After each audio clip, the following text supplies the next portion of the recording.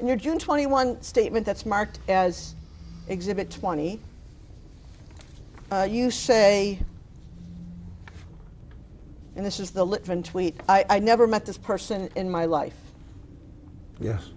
Sir, you're saying that at the time you made the statement that's in DJT 20, um, you were not aware of ever having met Ms. Carroll. You have since seen a photograph that shows you with Ms. Carroll on a receiving line. Along with a lot of other Objection people. form.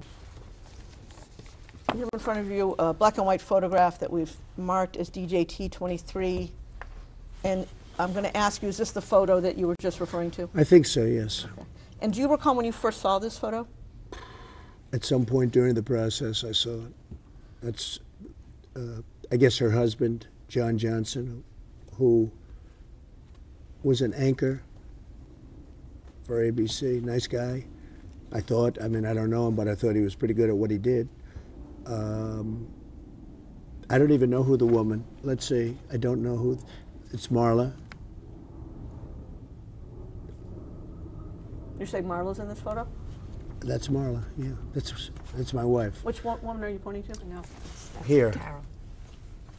Oh, is that, The oh, person you just pointed to was oh, E. I Carroll. Who is that? Who is this? point, your wife. And the person, the woman on the right is your then wife, I don't know. Ivana? This was the picture. Ivana. I assume that's John Johnson. Is that That's Carroll. Carroll? Because it's very blurry.